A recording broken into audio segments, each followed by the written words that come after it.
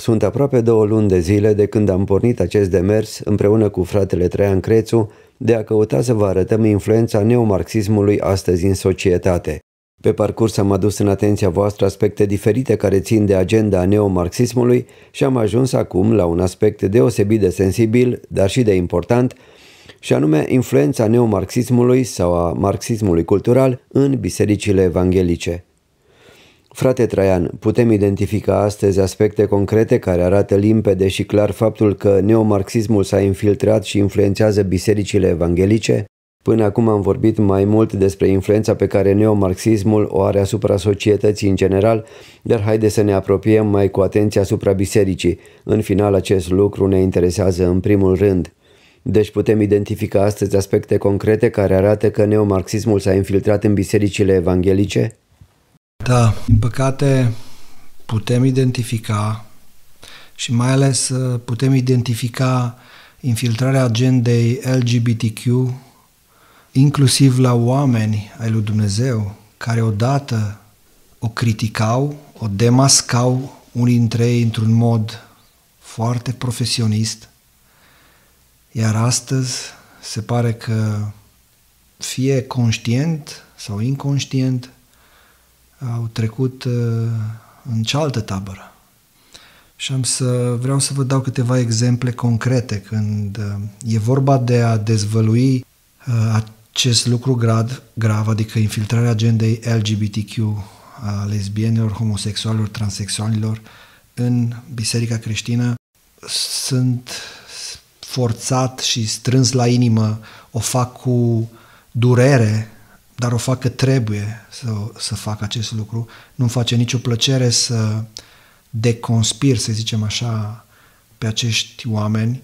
Pe unii dintre ei am apreciat în trecut pentru ceea ce au scris sau au predicat în favoarea Evangheliei. Nu o facem din dorință de senzațional sau din dorința de a defăima pe cineva, ci doar din dorința de a trage un semnal de alarmă. Exact. Nu găsim nicio plăcere, în, din contră, o facem cu durere, nu găsim nicio plăcere în, în demascarea acestei agende în sânul bisericii, din păcate, și în teologia unora dintre oamenii lui Dumnezeu care ar fi trebuit să rămână pe baricade în continuare așa cum au făcut-o în trecut și să demaște aceast, acest lucru, ei din păcate, conștient sau nu, într-o anumită proporție sau nu, încep să, să dea jos de pe baricade. Fiindcă în funcție de situație, nu toți uh, s-au dat în totalitate de jos de pe baricade, ci unii s-au dat într-o anumită proporție, alții mai mult sau mai puțin. Aș vrea să vă vorbesc uh, despre următorii lideri evanghelici. Vreau să vi menționez la început ca să știți despre cine e vorba. Aș vrea să vă vorbesc despre Al Moller, numele lui complet este Albert Moller. Junior. Da, este președintele Seminarului Baptist de Sud, unul dintre teologii conservatori baptiști foarte renumiți în Statele Unite. Înainte să continui cu el, spune puțin în câteva cuvinte scurt despre Convenția Baptistă de Sud, ca să înțelegem, pentru că el face da, parte din această da. Convenție Baptistă de Sud. Convenția Baptistă de Sud era ultimul bastion, să zic așa, înainte secularismului. Da. Convenția Baptistă de Sud din Statele Unite, în engleză se numește așa Southern Baptist Convention nu este părerea mea, asta este părerea majorității creștinilor uh, din, din Statele Unite, este cea mai conservatoare denominațiune evanghelică din Statele Unite și este și cea mai numeroasă. Asta nu înseamnă că celelalte denominațiuni evanghelice, de exemplu penticostalii, uh, ar fi în totalitate astăzi uh, apostați sau eretici sau cum vreți să-i spuneți și, la, și în bisericile pentecostale din Statele Unite sunt biserici care sunt ok din punct de vedere doctrinar, dar majoritatea în mediul pentecostal carismatic în Statele Unite au început să deraieze de la învățătura uh, biblică sănătoasă și de la ceea ce predicau, de exemplu, uh, pentecostali acum 50, 60, 70, 100 de ani în urmă. Din păcate, vedem exemple concrete la ora actuală că, virgulă, Convenția Baptistă de Sud, cea mai conservatoare denominațiune evanghelică din Statele Unite, începe să fie puternic penetrată de agenda LGBTQ, din păcate. Și vă spuneam că Albert Moller, care este președintele Seminarului Teologic Baptist de Sud, un om al lui Dumnezeu care în trecut a făcut într-un mod așa de genial deconspirarea infiltrării agendei LGBTQ în, în, Statele Unite, în Statele Unite, în biserici, a înțeles metodele lor de infiltrare și le-a deconspirat. Și din păcate, același om... Avem și noi în România cartea Furtuna Iminentă, o carte foarte bine scrisă de el. Exact, exact, exact, exact. Am început cu el, este cel mai uh, tragic exemplu în acest sens care vreau să-l dau, adică un om al Dumnezeu care a stat pe baricade proclamând adevărul și la ora actuală începe să dea înapoi. Ceva s-a întâmplat. Uh, n-am să intru în detalii, fiindcă nici nu pot să înțeleg concret ce s-a întâmplat în viața lui sau cu el de a, a, da, a început să dea așa înapoi. Dar ce vreau Noi să... prezentăm faptele, nu știm Sigur, ce s-a întâmplat, absolut. dar spune-ne nu, ce, ce sigur, s-a întâmplat. Nu judecăm pe om, nu Da. judecăm inima lui, asta este treaba lui Dumnezeu. Noi doar prezentăm niște fapte pentru ca credincioșii să cunoască și să știe să procedeze în consecință.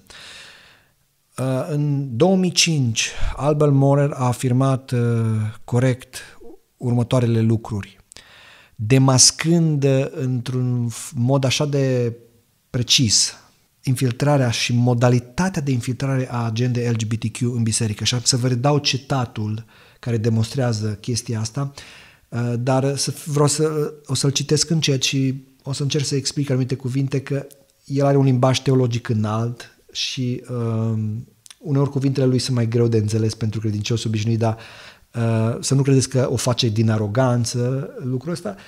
Omul este așa de citit încât uneori e greu să folosească cuvinte care toți oamenii uh, simpli le, le înțeleg.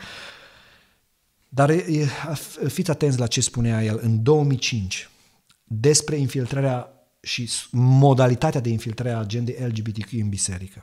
El spune așa, folosind eludări, adică ocoliri, circumlocațiuni și contorsionări, înțelesul textului biblic, biblic este revizuit, adică alterat, pentru a se nega condamnarea pe care textul biblic o aduce homosexualității. Chestiunea critică care este folosită ca un dispozitiv hermeneutic de către revizioniști este conceptul de orientare sexuală. Și am să mă opresc un pic aici și am să continui după aia citatul să vă explic faptul că el spune aici că chestiunea critică care este folosită ca un dispozitiv hermeneutic. Hermeneutica este acea parte sau disciplina teologiei care te învață cum să faci exegeză, cum să înțelegi ceea ce vrea să spună un text biblic. Și uh, când spune că chestiunea critică este folosită ca un dispozitiv hermeneutic, adică uh, acea chestiune care uh, revizioniștii o aduc uh, în discuție, adică conceptul de orientare sexuală, este folosită ca un dispozitiv care să uh, determine ca înțelesul textului biblic să fie alterat, modificat printr-o strategie hermeneutică, fals hermeneutică sau greșit hermeneutic. El continuă așa, descoperirea modernă și el pune ghilimele în textul original la descoperire, adică ironizează termenul de descoperire. Descoperirea modernă a orientării sexuale, adică acestui concept de orientare sexuală, este folosită ca să nege adevărul pretins cu claritate și care nu poate fi negat de către textul biblic. Adică el spune clar, textul biblic cu claritate și nimeni nu poate să nege că textul biblic o spune cu claritate că, virgulă, homosexualitatea este un păcat, oricum ai întoarce-o. Deci Moller spune că Biblia pretinde cu claritate și condamnă conceptul de orientare sexuală, inclusiv construcția aceasta, orientare sexuală, și că această găselniță modernă de care spune el această descoperire, adică în ghilimele descoperire a, a acestui concept de orientare sexuală, va fi folosită de către revizioniști, adică de către teologii care vor să introducă agenda LGBTQ în, în biserică pentru infiltrarea cu conceptele LGBTQ în biserică. Acum, ce este această găselniță, această, în ghilimele, descoperire modernă a psihologiei, acest concept de orientare sexuală? Și vă dau definiția de, dicțio- de dicționar. Orientarea sexuală este identitatea unei persoane în relație cu genul sau genurile de care aceasta se simte atrasă sexual. Două punct, eh, punct și virgulă, faptul de a fi heterosexual sau homosexual. Deci asta este orientarea sexuală, faptul de a fi heterosexual sau homosexual. Și este acea orientare sexuală care determină de fapt identitatea unei persoane în relație cu genul ei, cu genul de care, nu, cu genul ei, cu genul de care ea se simte atrasă. Sunt persoane care se simt atrasă de același gen și noi le, le numim pe acele persoane homosexuale. Sunt persoane care sunt atrase de genul opus și asta este, crea, asta este designul, creația lui Dumnezeu, să fim atrași de sexul opus și acele persoane sunt numite heterosexuale. Conceptul de orientare sexuală, această descoperire modernă, ne spune de fapt că, și aici e pericolul mare, ne spune de fapt că atracția față de persoanele de același sex, adică atracția homosexuală, este de fapt un lucru cu care tu te naști. Problema e că Biblia nu ne spune același lucru. Biblia ne spune că nimeni nu se naște homosexual. Tu nu te naști cu atracția față de persoanele de același sex ci la un moment dat, omul datorită idolatriei ajunge să îmbrățișeze această orientare sexuală scârboasă, homosexuală, adică orientarea sexuală homosexuală. Omul nu se naște cu înclinația de a fi atras de persoanele de același sex, ci uh, uh, designul și creația lui Dumnezeu a fost ca omul, și așa se naște omul, cu atracția față de persoanele de sex opus cred că e bine să menționăm doar și apoi să continui ideea. Astăzi nu doar se promovează relațiile și nu doar se spune că relațiile homosexuale ar fi în regulă și n-ar fi împotriva voii lui Dumnezeu, dar asta a fost doar începutul și s-a făcut un și s-au făcut pași după aceea încă se promovează și teoriile acestea în care un om poate să-și modifice identitatea lui sexuală, adică poate să schimbe sexul cu care s-a născut, ceea ce dovedește că atunci când s-a pornit la drum și s-a spus că asta a fost începutul, trebuie să acceptăm și relațiile homosexuale ca fiind ceva normal pentru că așa s-a născut omul, dar se dovedește că promo- promotorii acestor idei de fapt au vrut să meargă mai departe și au reușit să meargă mai departe spunând că până la urmă poți chiar să schimbi sexul dacă tu vrei să schimbi sexul cu care te-ai născut și să... Da. Se dovedește pe, pe parcurs se dovedește că ideea aceasta a fost doar un pretext pentru a se ajunge la lucruri mult mai grave. Sigur, sigur. Când, când ai vorbit despre schimbarea identității sexuale, uh, ai presupus și în mod uh, natural și firesc și normal, aș spune, că identitatea sexuală a unei persoane este sexul cu care s-a născut. Problema următoare, în conceptul de orientare sexuală, ei spun că tu te poți naște cu un anumit sex, dar sexul respectiv nu definește identitatea ta sexuală. Identitatea ta sexuală este definită în conceptul de orientare sexuală de atracția ta sexuală, care poate fi față de persoanele de același sex genetic cu, și, cu tine sau de persoanele de uh, sex opus genetic ca și tine. Adică, de exemplu, dacă eu sunt un bărbat și sexul meu genetic este bărbătesc, cromozomii genetica mea îmi spune că am un XY, adică că sunt bărbat, totuși în conceptul de orientare sexuală, perversitatea este următoarea. Sexul genetic nu este tot una cu identitatea sexuală, adică eu, deși am sexul bărbătesc, pot să, la un, pot să optez, spun ei, sau pot, bine, ei nu spun că poți să optezi, ei spun că te naști cu atracția față de persoane de același sex și atunci ești atras tot de bărbați. Asta e perversitatea. Perversitatea este că uh, identitatea sexuală nu este echivalentă cu, de fapt, cu sexul tău genetic, ci este dată de preferințele tale, de atracția ta sexuală și cu, pe care ei spun că cu asta te naști. Și asta este foarte periculos, fiindcă odată îmbrățișată ideea aceasta, Dacă tu te naști așa, înseamnă că tu nu te poți schimba. Și din contră, ei vin acum și creează cadrul legislativ ca să oprească terapia de reconversie.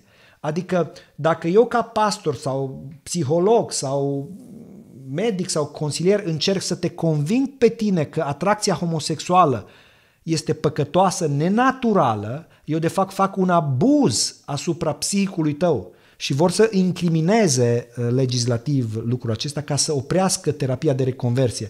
Adică încercarea pe care un pastor sau un psiholog sau un medic, prin uh, consiliere, o face asupra unui subiect, încercând să-l convingă că homosexualitatea este ceva aberant greșit și să îmbrățișeze heterosexualitatea.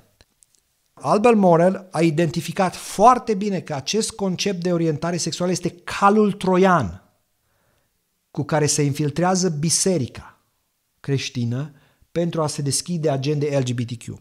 Și tot în anul 2005, în partea întâi din perspectiva teologică, Albert Morel susținea tot genial, aș spune eu, următoarele lucruri.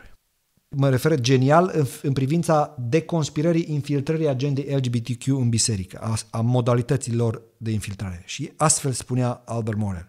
Ceea ce a urmat a fost un efort strategic și bine calculat pentru a câștiga le- legitimitatea, adică recunoașterea homosexualității, pentru a promova temele homosexualității în media, pentru a primi favoruri sau beneficii speciale ca și o clasă legală protejată, se referă la homosexuali, mai departe, mișcarea homosexuală a militat pentru scopuri politice specifice, cum ar fi abrogarea, adică abolirea tuturor legilor antisodomie, recunoașterea parteneriatului homosexual la egalitate cu căsătoria heterosexuală.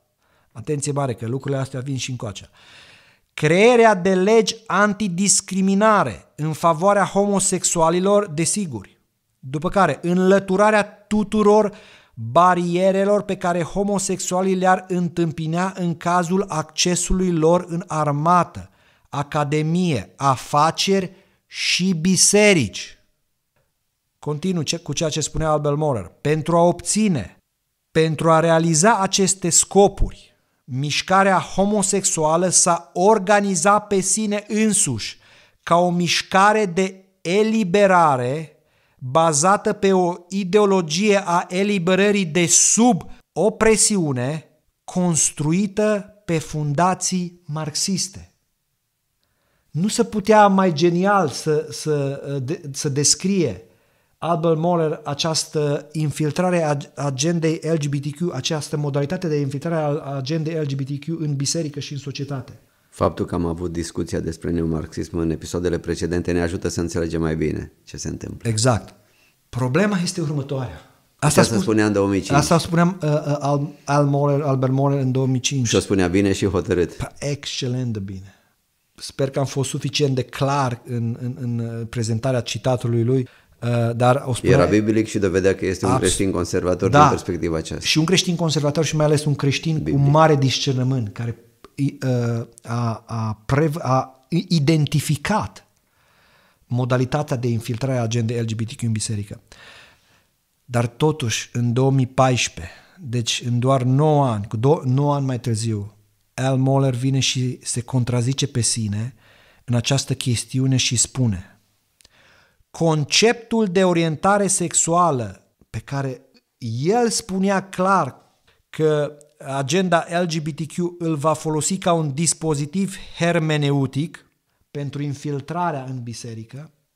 În 2014, același Al Moller, 9 ani mai târziu, spune că, virgulă, conceptul de orientare sexuală nu este numai de ajutor, este într-un anumit sens esențial. Chiar și cei care argumentează împotriva lui, a existenței lui, trebuie să-l descrie și să-l afirme folosind ceva egal, ceva echivalent asemănător cu el. Și tot Al Moller vine și spune în aceeași perioadă că unul din lucrurile de care nu ar trebui Îl citez, atenție, îl citez dintr-un uh, discurs al lui care se poate găsi pe internet. Tot ceea ce v-am spus aici poate fi prezentat cu dovezi, este în spațiu public online sau în cărți, dar citatul care o să vi-l spun acum este în, uh, în spațiu online, pe YouTube, deci puteți vedea. Albert More vine și spune, contrazicându-se pe, pe sine cu ceea ce a zis excelent în 2005, acum spune și următorul lucru. Unul din lucrurile de care nu ar trebui să ne jenăm, să o recunoaștem, este faptul că noi învățăm. Fac o paranteză, se referă la faptul că învățăm mereu. Și el continuă. Unul din lucrurile jenante pe care eu trebuie să le recunosc este că eu am scris despre unele din aceste chestiuni. Se referă la chestiuni legate împotriva agendei LGBTQ. LGBTQ. Timp de aproape 30 de ani, spune Albert Morer. Și în anumite puncte, spune el, trebuie să spun că am greșit și trebuie să ne întoarcem și să le corectăm cu ajutorul Scripturii. El continuă. În trecut, în discuțiile pe seama acestei controverse, am crezut că este necesar pentru ca să clarific mesajul Evangheliei, să neg orice este legat de orientarea sexuală. Atunci am vorbit la un eveniment al Asociației Naționale a Evanghelicilor, acum peste 20 de ani în urmă, când am avut acel punct de vedere. Și el spune despre acest lucru, despre faptul că atunci a vorbit la evenimentul acela al Asociației Naționale a Evanghelicilor în urmă cu 20 de ani, când a avut acel punct de vedere în care a negat conceptul de orientare sexuale, sexuală și el spune, continuă citatul, mă pocăiesc de asta.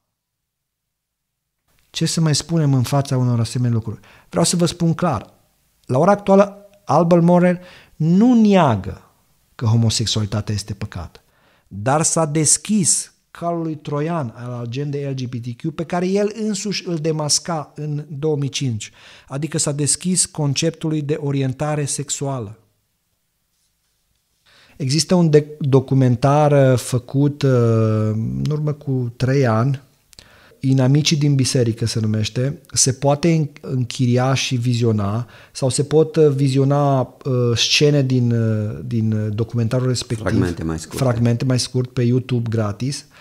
Documentarul se numește uh, Inamicii din biserică.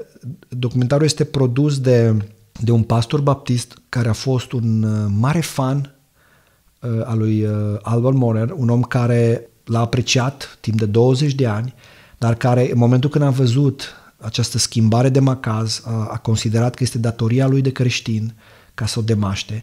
Și omul acela a făcut un documentar excelent în care în documentarul respectiv sunt prezentate mărturii ale profesorilor de la seminarul teologic baptist de sud unde Al Moller este președinte, care spuneau cum au fost persecutați de Al Moller și conducerea seminarului pentru pozițiile lor împotriva agendei LGBTQ. S-a ajuns până acolo. Da, da. Albert Moller spunea că în, în, trebuie să-și reconsidere poziția în lumina Scripturii, foarte interesant. Da, în lumina da. Scripturii a înțeles odată că nu e bine exact. și acum în lumina Scripturii înțelege că e bine, da, o altă da. hermeneutică. Sigur, sigur.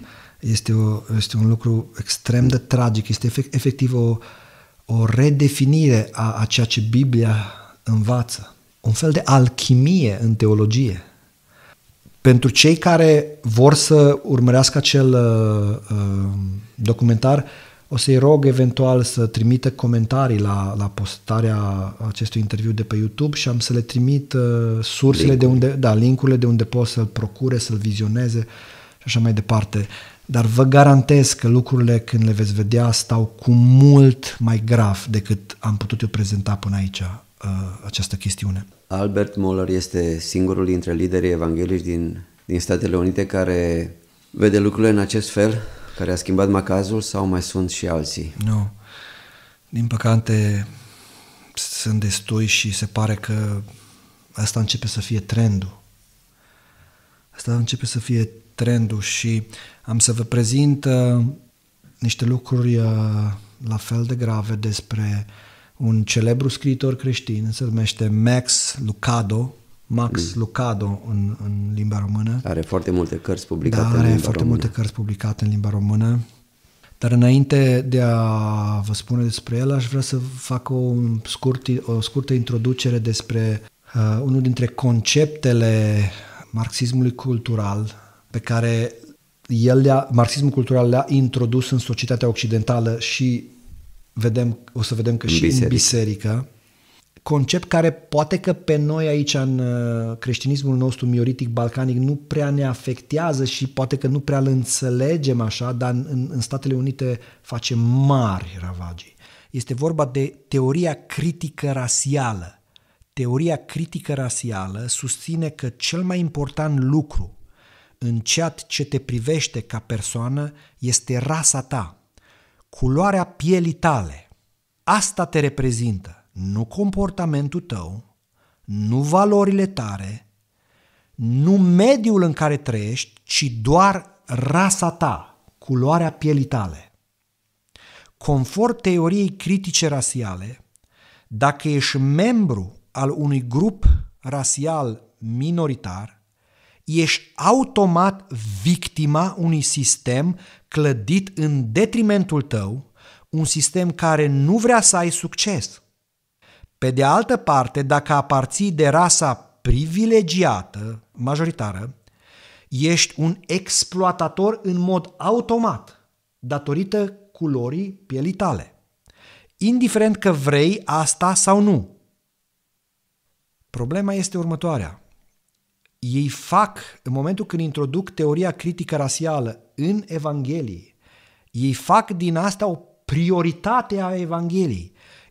Și dacă noi ne uităm în Scriptură, sincer să fim, noi nu vedem niciunde în Scriptură că rolul bisericii sau rolul mesajului evanghelic ar fi să demaște sau să, de exemplu, să demaște injustiția rasială sau socială.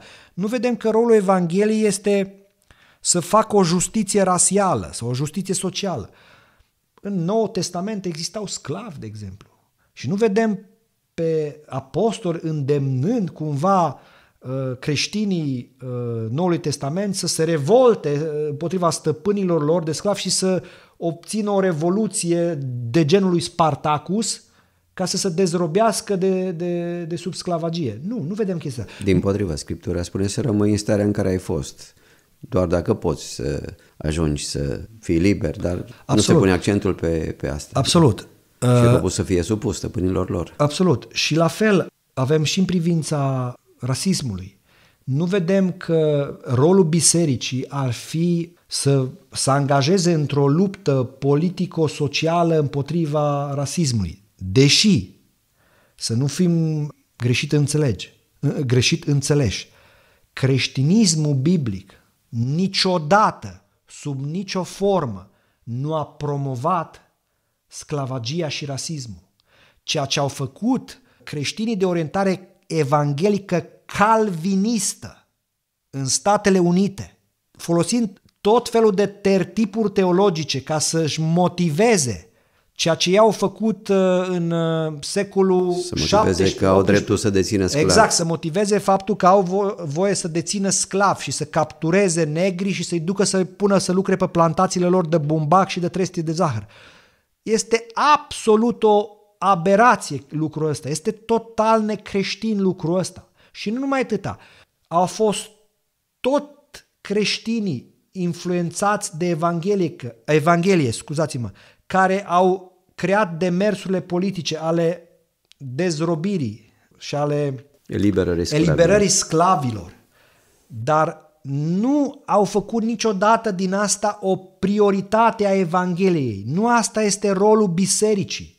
Rolul bisericii este să predice Evanghelia ca alb, negru, galben, de orice culoare, să cunoască adevărul, să cunoască, să înțeleagă că este un păcătos, că va merge în iad și că singura lui șansă este să creadă în Hristos ca să nu ajungă să meargă în iad. Asta e rolul bisericii. Biserica nu trebuie să angajeze în demersuri politice, sociale. Am vorbit despre, în altă emisiune despre Evanghelia socială, da, o altă Sigur. perspectivă asemănătoare, să zic așa. Sigur, a, a, acest aspect face parte din ceea ce se numește Evanghelia socială. Și asemenea lucru spuneam și atunci, infiltrarea marxismului cultural în creștinism creează această evanghelie socială, care de fapt, sub pretextul lucrurilor bune, defocalizează misiunea principală a bisericii, care este predicarea Evangheliei pentru ca oamenii să fie mântuiți și înrolează biserica prioritar spre acțiuni social-politice. Asta e gravitatea. V-am spus, modelul principal al, în scriptură de evanghelist social este Iuda Iscariotianu. Am spune, manifestul comunist al lui Iuda îl putem vedea în Biblie când a spus nu era mai bine ca parfumul acela scump, în loc să fie spart și pus pe trupul lui Hristos, pe picioarele lui, să se fi vândut și banii să fie dați săracilor. Orice creștin ar fi spus, măi, logic ar fi fost bine că, da, ajutam săracii cu chestia asta. Și Biblia ne spune, atenție, atenție, atenție mare. El nu făcea asta de grija săracilor, cum nici ăștia nu fac neomarxiștii sau marxiștii culturali nu fac de grija săracilor, ei fac pentru buzunarul Promova lor. interesul lor. Exact, pentru buzunarul și agenda lor. La fel, în biserică, esențial este adorarea lui Hristos și promovarea lucrurilor de care Hristos ne-a spus că sunt prioritare. El a spus clar, pe săraci îi veți avea totdeauna cu voi. Adică ce înseamnă asta? niciodată nu veți eradica sărăcia. O, ei spun nu, că misiunea bisericii este, trebuie să fie eradicarea sărăciei. sărăciei. Nu, misiunea bisericii este să predice Evanghelia, asta a spus Hristos. Mergeți și propovăduiți Evanghelia la toate neamurile. Ei să creadă, să fie botezați, să devină uceniți și astfel împărăția lui Dumnezeu să crească. Unde? În inimile credincioșilor, nu să creăm o utopie de genul uh, cum își imaginează unii din noua reformă apostolică. Dominionism. O, utopie, da, o, o utopie, o împărăție dominionistă în care creștinismul să domnească peste toată lumea, peste toate sferele societății. Da. Am vorbit despre asta, așa cum am zis în emisiunile precedente. Hai să ne întoarcem la teoria criticii da. rasiale. Este o găselniță a neomarxiștilor, o invenție a lor și de fapt ce, prin asta am vorbit în emisiunile trecute, nu caută altceva decât să creeze conflict între categorii, între anumite categorii, aici Sigur. între rase. Exact. Exact. Marxismul clasic crea conflict între proletar pe de o parte și pe cealaltă de parte burghez, proletar și burghez, da? Uh, iar neomarxismul creează tensiune între minorități, minoritățile rasiale, minoritățile sex, sexuale, deci uh, uh, heterosexual împotriva uh, LGBTQ, minoritățile rasiale, negri împotriva creează Bărbat, tensiunea, da, creează tensiunea ca să genereze conflict ca să-și poată demara agenda. Asta este strategia, este atât de clară și așa mai departe. Dar, vă spuneam de ce am făcut introducerea asta. Asta am vrut și eu să spun. Ce are a face teoria criticii rasiale cu ce discutăm noi acum? Exact. Liderii evanghelici. Exact. Am făcut introducerea asta ca să da. vă dau un alt exemplu de penetrare a agendei marxismului cultural în biserică. Și vorbeam de, de scriitorul și pastorul creștin Max Lucado. Exact, ca să, încă o dată, ca să, să se înțeleagă bine. Deci este o teorie a neomarxiștilor. Teoria criticii rasiale vine de la neomarxiști. Exact, exact. Bun. Ea n-ar trebui să aibă de-a face cu biserica. Absolut. Este, este o formă a, a marxismului cultural. Dacă îmi spunem marxism cultural sau neomarxism, de fapt e, e același lucru. Și a, vă dau exemplu. Max Lucado în august 2020, nu de mult, într-o duminică în orașul San Antonio din SUA, s-a pus în genunchi în cadrul unui eveniment uh, cu o audiență importantă ca să ceară iertare pentru păcatul supremației rase, rasei albe creștine, pe care el și strămoșii lui, spunea el, l-au comis prin actele de rasism și inacțiune. Apoi, tot Max Lucado, în 2021, își cere scuze pentru comentariile negative din trecut în privința homosexualității. Mai precis, într-o predică și într-un articol din 2004, când el a criticat căsătoria LGBTQ, căsătoria dintre persoanele de același sex. Când a fost asta? În 2000 cât a criticat el? În, într-un articol și într-o predică în 2004, în 2004, Max Lucado a comparat căsătoria gay, adică dintre persoane de același sex, cu zoofilia, cu incestul, cu poligamia, adică cu uh, cei care au mai multe soții, de exemplu, și a sugerat că homosexualitatea poate fi schimbată prin consiliere pastorală creștină. Așa credea în 2004. Exact. Acum se pocăiește de, de asta. 2020 și 2021. Și își cere scuze pentru comentariile negative din trecut în privința homosexualității. Max Lucadoș și-a cerut scuze în mod literal comunității LGBTQ și public și lui Hristos pentru că atunci, în 2004, cuvintele lui au rănit comunitatea LGBTQ. Și când vă spuneam, ca să vă explic aici, eu știu că în mediul nostru balcanic e mai greuț de înțeles chestia asta, când vă, vă spuneam că el și-a cerut uh, scuze în, în, în august 2020 și-a cerut iertare în genunchi pentru păcatul supremației, ra, supremației rasei albe creștine. Este, asta înseamnă diseminarea teoriei critice rasiale.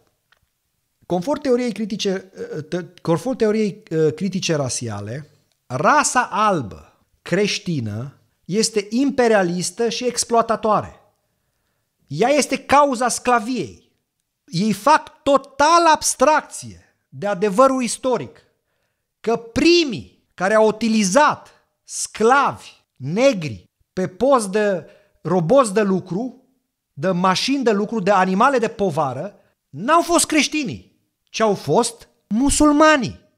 Primii creștini au cumpărat sclavi negri de la musulmani, de la arabii care, și de la otomanii care uh, veneau în Africa și făceau comerț cu sclavi negri. Dar ei nu sunt criticați, fiindcă ar fi, să nu, ar fi, asta ar însemna să critici islamul pentru rasism, ar, ar, ar însemna să nu fii politically correct. Pentru că politically correct, conform marxismului cultural, este doar să de- demonizezi creștinismul ca fiind rasist, doar să demonizezi rasa albă care a răspândit creștinismul ca fiind uh, o, ra- o, o rasă exploatatoare, imperialistă și așa mai departe. În condițiile în care, cum vă spuneam și în emisiunile trecute, cei care au abolit sclavia n-au fost musulmanii, care au utilizat sclavia negrilor, inclusiv după ce albii au, creștini au abolit sclavia negri, eh, negrilor, ci vă spuneam că în, în episoadele trecute că albii creștini au făcut războaie între ei. Nordul și Sudul în America s-au bătut între ei în războaie pentru abolirea sclaviei. Deci tot albii creștini au abolit sclavia. Nu putem să eh, demonizăm rasa albă de religie creștină ca fiind imperialistă și, uh, și exploatatoare și rasistă, pentru că chiar ei au fost cei care au abolit sclavia. Discursul acesta îl vedem foarte frecvent astăzi în mediile politice din Statele Unite și nu numai și din Europa, știind că este un concept neomarxist, dar nu ne-am așteptat să-l vedem în biserică. Exact. Asta e tragedia. Și în momentul când identificăm uh, uh, lucrurile astea și ele sunt multe, nu numai ce pot eu să prezint aici, ele sunt multe, este o adevărată invazie a agendei, a agendei LGBTQ în biserică.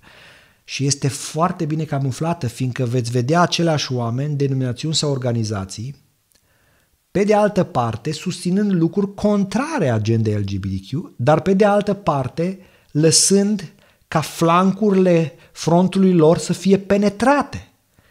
Ori să-mi fie cu iertare, dar mie îmi sună a, a trădare în fața dușmanului. O asemenea tactică de, în ghilimele, de apărare sau de atac. Când tu vii și susții atacul, dar îți lași flancurile descoperite să fie penetrate de dușmani, când îți vezi ofițerii tăi în garda, în solda dușmanului și îi lași acolo, și nu-i uh, duci în fața curții marțiale, ci îi lași acolo, asta îmi sună a trădare. Și au zice chiar trădare, perversitate, adică până la urmă îmi dovedesc intențiile, dar n-am curajul să o fac dintr-o dată. Las garda jos ca să nu speriu. Corect. Să nu, să nu speriu pe ceilalți care până atunci erau creștini care mă urmăreau. Sigur, dar asta nu înseamnă decât cea mai perversă formă de trădare. Pentru astăzi ne oprim aici, dar vom continua demascarea liderilor evanghelici din Occident care au fost infiltrați de neomarxism